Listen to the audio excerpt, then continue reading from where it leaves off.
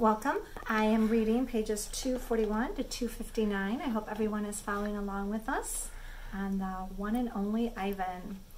Uh, my chapter says poking and prodding. The lady comes again and she brings an animal doctor with an awful smell and a dangerous looking bag. He spends an hour with Ruby, poking and prodding. He looks at her eyes, her feet, her trunk. When he's done with Ruby, he enters my cage. I wish I could hide under not tag like Bob. Instead, I do a nice loud chest beat, and after a moment, the doctor retreats. We're going to need to put this one under, he says. I'm not quite sure what he means, but I strut around my cage, feeling victorious anyway. No one asked me to paint today, and no one asked Ruby to perform. There are no shows, no visitors, unless you count the protesters. And Max stays in his office all day. I wake up from a long morning nap, and Bob is on my belly, but he isn't sleeping. He's watching the ring, where four men are placing a large metal box. It's me-sized. What's that? I ask, still blurry from sleep. Bob nuzzles my chin. I believe that box is for you, my friend. I'm not sure what he means. Me? They brought a bunch of boxes while you were sleeping. Looks to me like they're taking this whole lot of you, he says casually, licking a paw. Even Thelma. Taking, I repeat. Taking us where? Well, some to the zoo, probably. Others to an animal shelter where humans will try to find them homes. Bob shakes himself. So I guess all good things must come to an end, huh? His voice is bright, but his eyes are far away and sad. I'm going to miss your stomach, big guy. Bob shuts his eyes and he makes an odd noise in his throat. But what about you? I asked. I can't tell if Bob is just pretending to sleep, but he doesn't answer. I gaze at the huge shadowy box and suddenly I understand how Ruby feels. I don't want to go into that box. The last time I was in a box, my sister died. When George and Julia come that night, George doesn't get his mop or his broom. He gathers up his tools and his belongings while Julia runs to my cage. This is my last night, Ivan, she says and she presses her palm to my glass.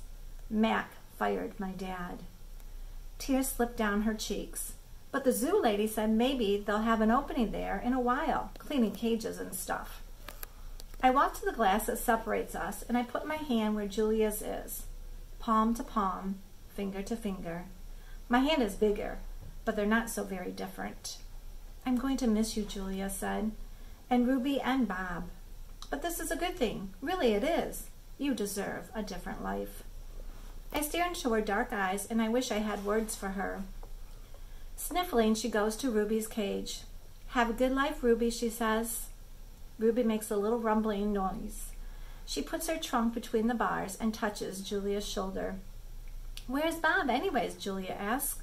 She looks around under cages, under tables, and by the trash can. Dad, she calls. Have you seen Bob? Bob? Nope, George says. Julia's brows wrinkle. What happened to him, Dad? What if Max shuts down the whole mall?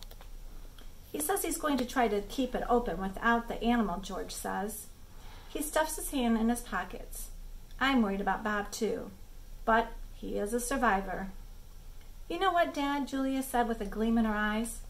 Bob could live with us. Mom loves dogs and he could keep her company and Jules, I'm not even sure I have a job yet. I might not even be able to feed you, let alone some mutt. But my dog walking money. Sorry, Jules. Julia nods. I understand. She starts to leave, then runs back to my cage. I almost forgot. This is for you, Ivan. She slips a piece of paper in my cage. It's a drawing of Ruby and me. We were eating yogurt raisins, and Ruby is playing with another baby elephant, and I'm holding hands with a lovely gorilla. She has red lips and a flower in her hair. I look as I always do at Julia's pictures, like an elegant fella, but something is different about this drawing. In this picture, I am smiling. The door to my cage is propped open, and I can't stop staring at it. My door is open. The giant box has been moved, and it is open too. The humans have pushed it up against my doorway. If I walk through my door, I enter the box. The zoo lady, whose name is Maya, is here. Click.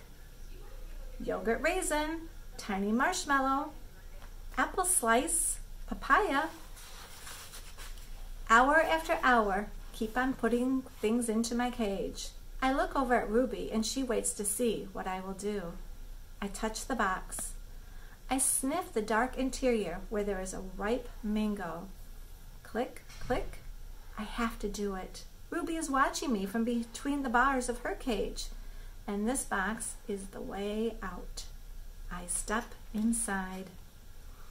After I leave the box and step inside my cage, I get an idea, a good one. I tell Bob he can sneak into my box with me and live at the zoo. Have you forgotten? I'm a wild beast, Ivan, he says, sniffing the floor for crumbs. I am untamed, undaunted. Bob samples a piece of the celery and spits it out. Besides, they would notice. Humans are dumb, but they're not that dumb. Ivan, Ruby says, do you think the other elephants will like me? I think they'll love you, Ruby. You'll be a big part of their family. Do you think the other gorillas will like you, Ruby asks. I'm a silverback, Ruby, a leader.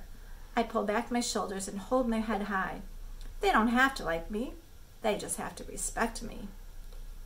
Even as I tell her this, I wonder if I can ever command their respect. I haven't had much practice being a real gorilla, much less a silverback. Do you think the other elephants will know any of my jokes? If they don't, I tell her, you can teach them. Ruby flaps her ears. She flicks her tail. You know what, Ivan? What? I ask. I think I'm going to go in the box tomorrow. I gaze at her fondly. I think it's a good idea. And I think Stella would agree. Do you think the other elephants will know how to play tag? I love tag. Me too, I said. And I think of the nimble sister racing through the bushes, always just out of my reach. Late at night, Mack opens my cage. The full moon falls on his sagging shoulders. He seems much smaller now. Bob, instantly alert, leaps off my stomach and dives under Not Tag. Don't bother hiding, dog, Mack says. I know you're in there. Mack settles onto my tire swing. Might as well stay one more night. Your buddy's leaving tomorrow. Tomorrow? My stomach drops. I'm not ready. I need more time. I haven't said my goodbyes. I haven't thought this through.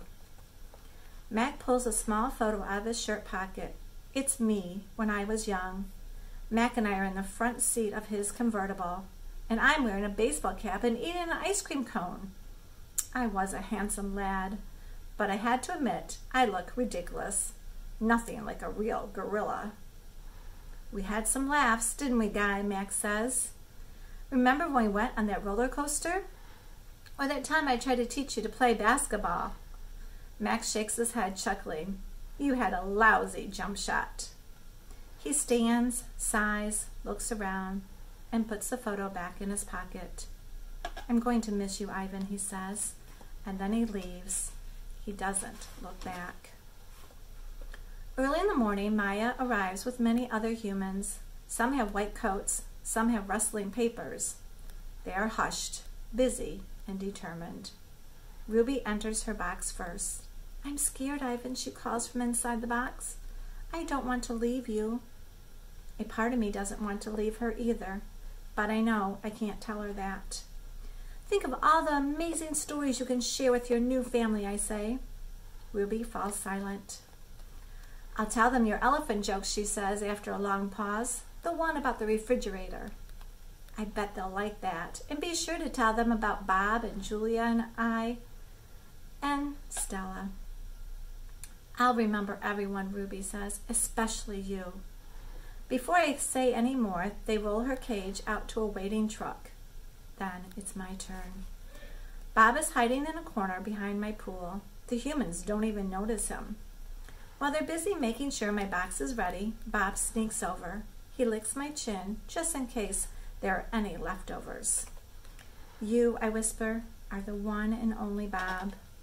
I reach for Not Tag.